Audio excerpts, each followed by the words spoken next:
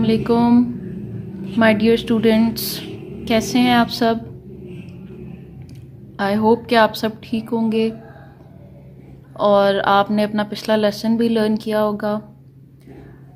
जैसा कि आपको पता है कि are next lesson is the reading will start with the reading and I'll read it paragraph wise or all of you must have your books in front of you. So let's get started with uh, page number 2 maps as the earth is a sphere so it is not easy to show the surface in a flat drawing जैसा कि आपको पता है कि earth जो है it is not a flat surface earth जो है वो एक प्लेन सरफेस नहीं है Earth is just round like this ball. Sphere means it is round like a ball. Like this.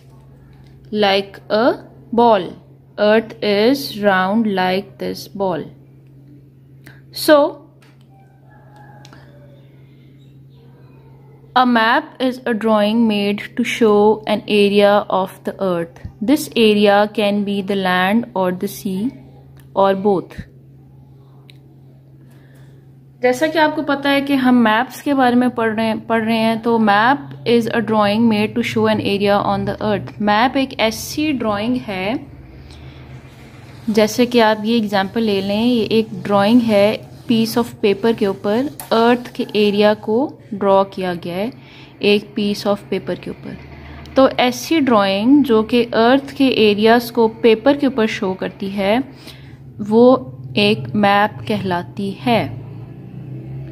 अब उस मैप के ऊपर, उस एरिया के ऊपर आपको जो है वो डिफरेंट काइंड्स ऑफ़ कलर्स नज़र आएँगे और वो कलर्स डिपिक्ट करते हैं एरियाज़ ऑन द लैंड जैसे कि ब्राउन एरिया है तो वो आपको लैंड शो करेगा या फिर आपको पहाड़ माउंटेन्स शो करेगा। ब्लू एरिया है obviously blue is colour of water तो वो आपको वाटर का एरिया शो करेगा।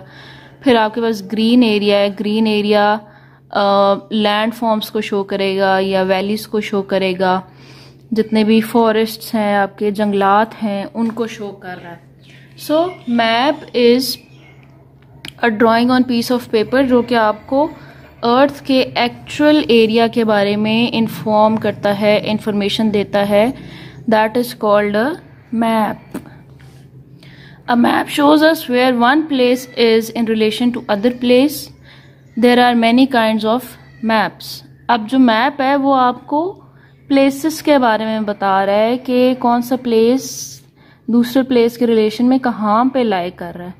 जैसे फॉर एग्ज़ाम्पल पाकिस्तान है and Afghanistan. So पाकिस, Afghanistan lies in north of Pakistan. अगर आप डायरेक्शंस um, की फॉर्म में डायरेक्शंस के लिहाज से देखें तो पाकिस्तान जो है वो अफ़गानिस्तान के नॉर्थ में लाई कर रहा है। इसी तरह से अगर आप देखें तो इंडिया जो है वो पाकिस्तान के ईस्ट में लाई कर रहा है। और अगर आप ईरान को देखें तो ईरान जो है वो पाकिस्तान के वेस्ट में है और नॉर्थ ईस्ट में there is China so map जो है वो प्लेसेस के बारे में डिफाइन करता है आपको। So there are many kind of maps first type is physical map this is a physical map it shows hills mountains rivers valleys and other land forms so physical map physical map आपको जो है वो show कर रहा है कि पहाड़, दरिया वैलीज लैंड फॉर्म्स कहाँ कहाँ पे लाए कर रहे हैं। तो ऐसा मैप जो कि आपको पहाड़ों के बारे में रिवर्स के बारे में, वादियों के बारे में लैंड फॉर्म्स के बारे में, जंगलात के बारे में, समुंदर, दरिया, उनके बारे में इन्फॉर्म कर रहा है तो ऐसा मैप जो है वो that is called physical map ठीक है जी? Next is a political map political map और एडमिनिस्ट्रेटिव मैप पॉलिटिकल मैप का दूसरा नाम क्या है जी? Administrative map it shows town cities borders between countries so so, जैसा कि आपको इस पिक्चर में नज़र आ रहा है अ पोलिटिकल मैप ये आपको टाउन्स के बारे में बता रहा है आपको सिटीज़ के बारे में बता रहा है। For example there is Kabul Peshawar Islamabad Lahore Quetta Azad Kashmir और फिर ये आपको बॉर्डर्स बिटवीन कंट्रीज़ कंट्रीज़ के बारे में बता रहा है कि दिस इज़ पाकिस्तान फिर पाकिस्तान के बॉर्डर के साथ अफ़गानिस्तान बॉर्डर शेयर करता है। फिर पाकिस्तान के नॉर्थ ईस्ट में जो है there is China sharing the border then in the east it is India और फिर आपको नीचे कराची के साथ there is Arabian sea so ऐसा मैप जो कि आपको शहरों के बारे में और ममालिक के बारे में बता रहा है that is an administrative map और पॉलिटिकल मैप नेक्स्ट है जी relief map relief map this is a relief map it shows heights of hills mountains with lines drawn to show height in metres ऐसा map जो कि आपको mountains और hills की height के बारे में बता रहा है that map is called relief map अब आप जैसे कि इस पिक्चर में आपको नज़र आ रहा होगा, इस पिक्चर में देर आर ब्राउन पार्ट्स ठीक है? Brown parts are depicting the mountains and hills और ये आपको यहाँ पे फिगर्स नज़र आ रहे हैं thousand metre five hundred metre three hundred metre they are telling you the height of these mountains in a particular area then next, we have longitudes and latitudes.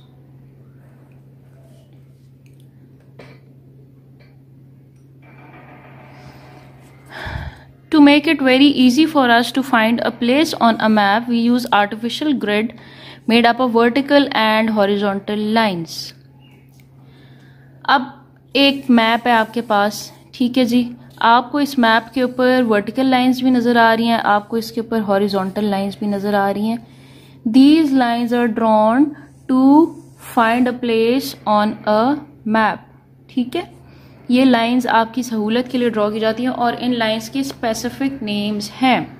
So the vertical lines are drawn from north to south passing from north and south poles vertical lines कौन सी हैं जी? ये lines जो कि आपको north से south pole की तरफ़ मूव करती हुई नज़र आ रही है। This is north pole and this is south pole north south north south तो ऐसी वर्टिकल लाइन जो कि नॉर्थ से साउथ की तरफ़ मूव कर रही है those lines are called meridians of longitude these lines are called meridians of longitude the line the horizontal lines are drawn from east to west parallel to the equator these lines run from east to west this is east and this is west this is east this is west lines running from east to west are parallel lines equator के parallel ये lines move कर रही हैं and these lines are called parallel of latitude parallel of latitude most good maps show these lines जो अच्छे maps होते हैं, उनके अंदर parallels of long latitudes and meridians of longitude draw की हुई होती हैं।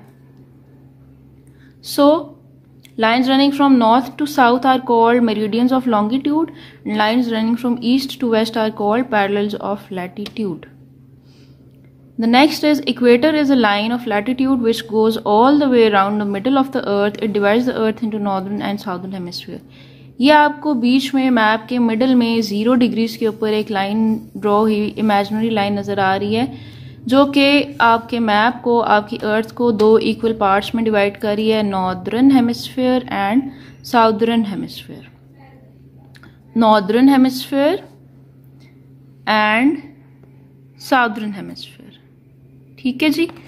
This is equator these are two equal parts northern hemisphere and southern hemisphere so the earth equator is a line of latitude this is line of latitude which is dividing the earth into two equal parts northern and southern hemisphere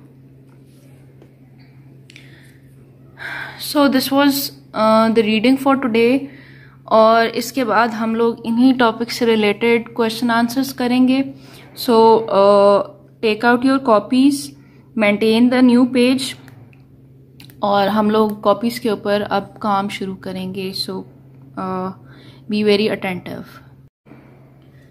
okay ji. So take out your new page सबसे पहले आपके top पे date होनी चाहिए आज की and class work लिखा होना चाहिए. In the next line mention lesson number one pages two to six In the next line maps.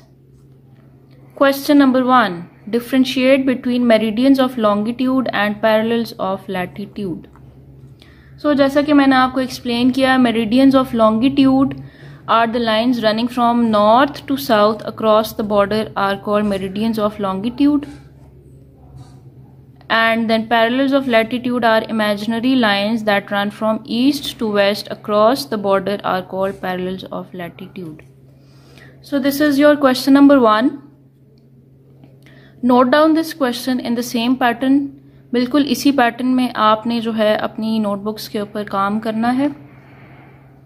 Note down this question and then question number two is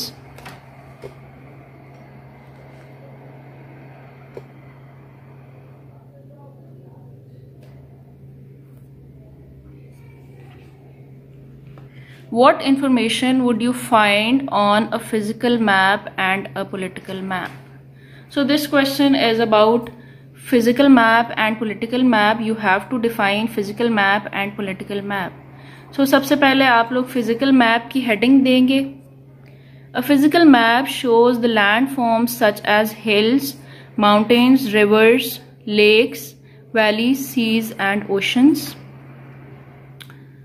ठीक है, ऐसा मैप जो कि आपको landforms hills mountains rivers वादियों, समुद्रों, दरियाओं के बारे में बता रहा है that is called a physical map then political map political map की आप लोग इस तरह से हेडिंग देंगे नेक्स्ट लाइन में और लाइन के नेक्स्ट लाइन के स्टार्ट से आप लोग शुरू करेंगे। A political map shows us towns cities and borders between countries ऐसा मैप जो कि आपको शहरों के बारे में बता रहा है और कंट्रीज़ के बारे में बता रहा है दैट इज़ कॉल्ड पोलिटिकल और एडमिनिस्ट्रेटिव मैप ठीक है जी?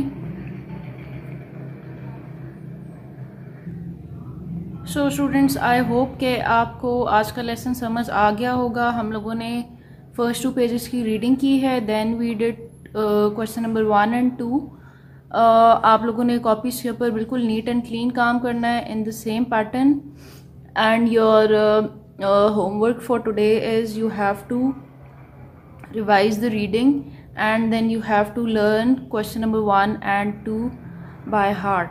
Till then allah hafiz and take care. Inshallah we'll meet in the next lesson. Goodbye. Allah hafiz